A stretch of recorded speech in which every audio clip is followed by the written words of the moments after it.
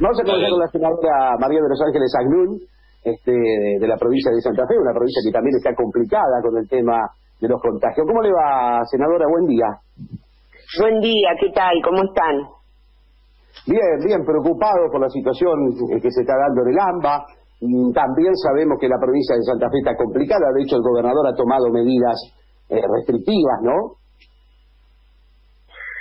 Sí, claro, la verdad es que nuestra provincia eh, tiene también eh, centros urbanos importantes donde el transporte público, que es eh, uno de los, digamos, agentes más importantes que en la, en la transmisión, en la circulación de, del virus, tienen, tienen mucho funcionamiento, ¿no?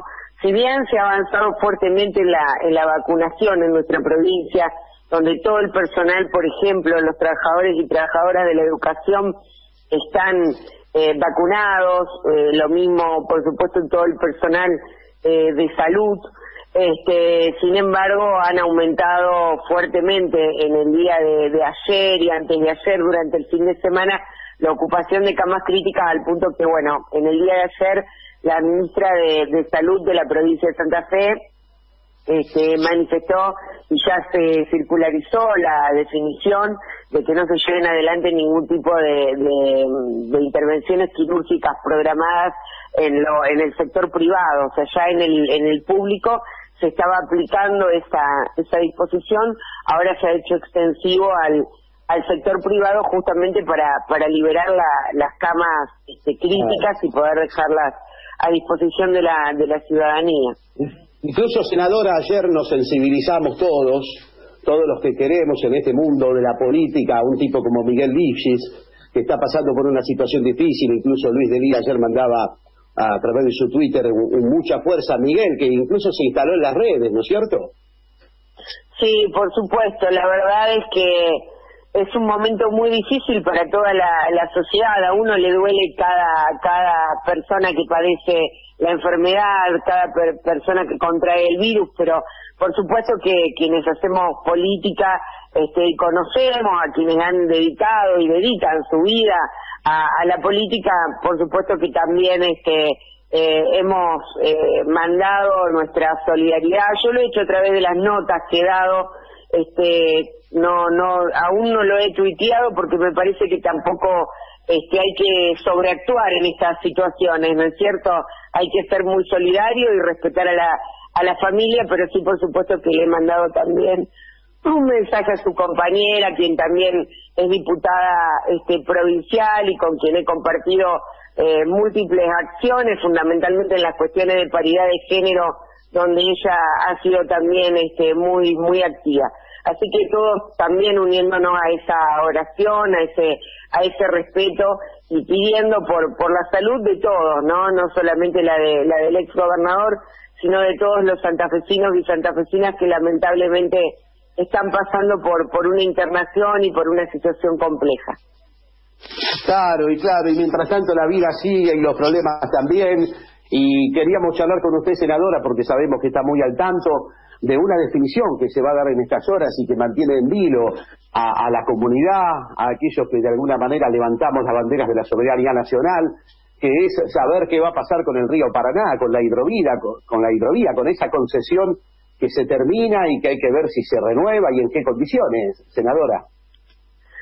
Sí, bueno, hay un decreto, como ustedes saben, que es el decreto 949, que, que ha marcado de alguna manera eh, el, camino que se iba a seguir, razón por la cual, bueno, nosotros desde el Senado de, la Nación presentamos un proyecto mediante el cual planteamos el Contralor, ¿no? Eh, que, el Poder Legislativo no pierda el Contralor sobre el sistema de navegación troncal, porque también hay que decirlo, nosotros allí utilizamos también la terminología de hidrovía porque es la terminología que se utiliza en el 949, en ese decreto, no queremos dejar de eh, contemplarlo, de alcanzarlo a través de la del Contralor del Congreso, pero en realidad debemos hablar del sistema de, navegación troncal, ¿no es cierto? Que, porque la palabra, el concepto de hidrovía es un concepto muy ligado a lo que ha significado el consenso de Washington y las consecuencias de, en nuestro país, en la República Argentina. Entonces preferimos hablar...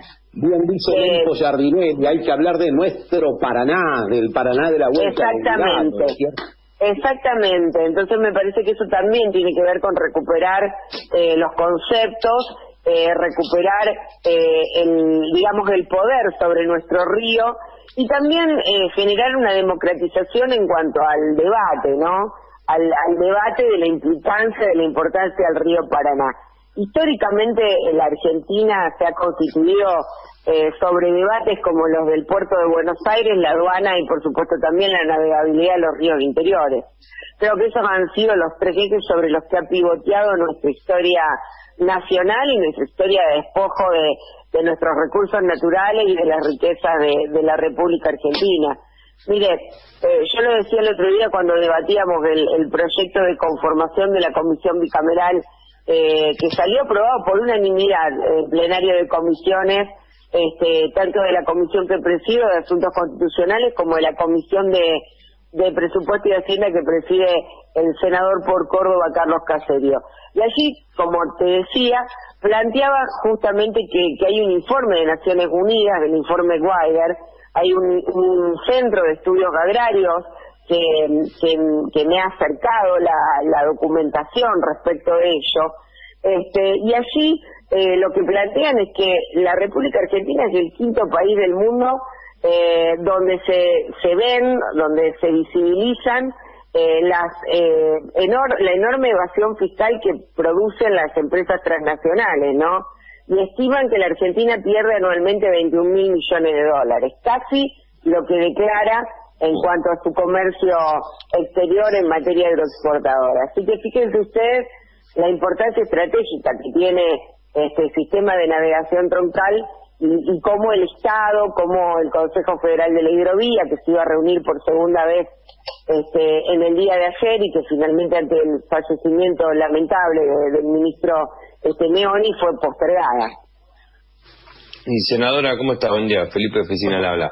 Y, esto que ahora, bien, que ahora por suerte lo, como, como dice usted, lo empezamos a, a democratizar y, hablar entre todos, eh, pensando en, en, nuestros gobiernos anteriores, ¿no? que tuvimos eh, 10 años, 12 años, donde por ahí sí se pudo hacer algún otro tipo de intervenciones y sobre esto no se avanzó y ahora que finalmente se puede avanzar también hay hay un, como un montón de, de miedos y dudas no digo si si este tema no no lo aborda por ahí cierta parte del frente de todos era como que seguía de largo.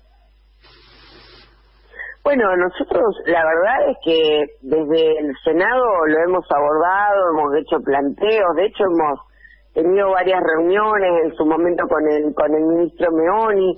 El Senado está trabajando sobre este tema, yo entiendo que este en, en el frente de todos hay también mucha prudencia en el sentido de que estamos hablando de un tema estratégico para el país. Hay definiciones, decisiones que tienen que ver también con, con el gobierno nacional, con nuestro gobierno, con el gobierno de Alberto Fernández. Entonces, en este sentido creo que debemos ser muy respetuosos, hacer escuchar nuestra voz y que el poder legislativo este, no pierda este poder de contralor y la palabra también, porque la legitimidad que que nos da el voto popular en el ámbito del Congreso también eh, nos permite que podamos este, opinar, hacer escuchar la voz del Parlamento en un tema estratégico como este.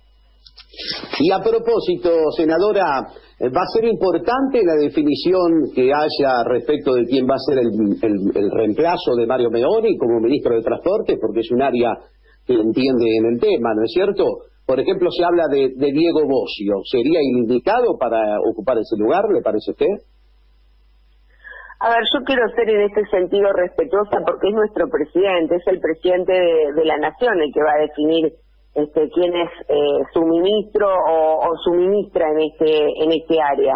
Entonces dejemos que, que bueno que el presidente sea quien eh, tome la definición. Él, es él quien tiene la facultad de designar a sus ministros o de remover a, a sus ministros. Así que esperemos a ver cuál, cuál va a ser la definición, cuál va a ser la decisión. De todas maneras, también pensemos lo siguiente, ¿no?